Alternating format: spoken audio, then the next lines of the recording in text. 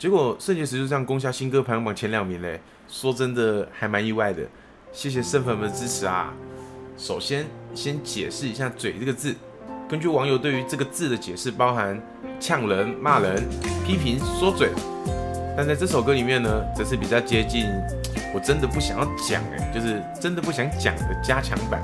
那今天就跟大家分享这首歌在音乐上的五个小彩蛋，我们开始喽。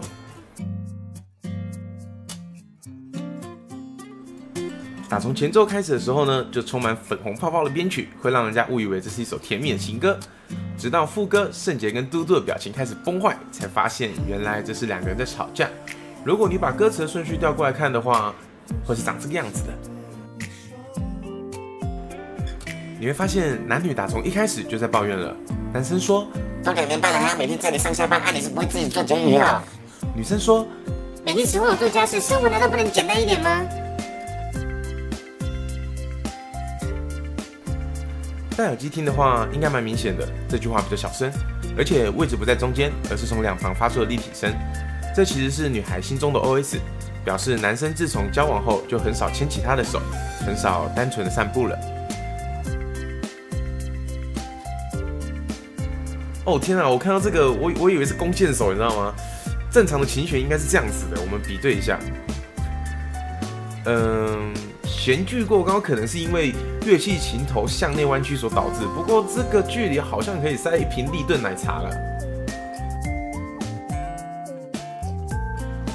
这三个词汇呢是来自亚洲统神的一支宣导广告，我们请他为大家说几句话：尊重、包容、友善，拒绝谩骂与人身攻击，与人建立良好关系。有熟悉电竞实况的朋友应该知道，亚洲统神非常的会嘴。所以歌词是带着一种我明明就在嘴，还要说自己尊重、友善又包容。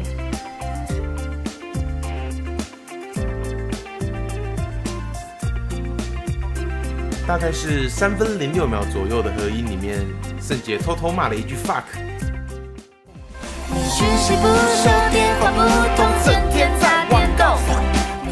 这个充满力与美的声音，一语道出了对老婆的爱恨情仇啊！以上就是这次分享的五个小彩蛋，无论你原本是否知道，都谢谢你愿意点进来了解这首歌曲背后的创作故事。我在网友的回复里面看到了一个很酷的神分析，额外跟大家分享。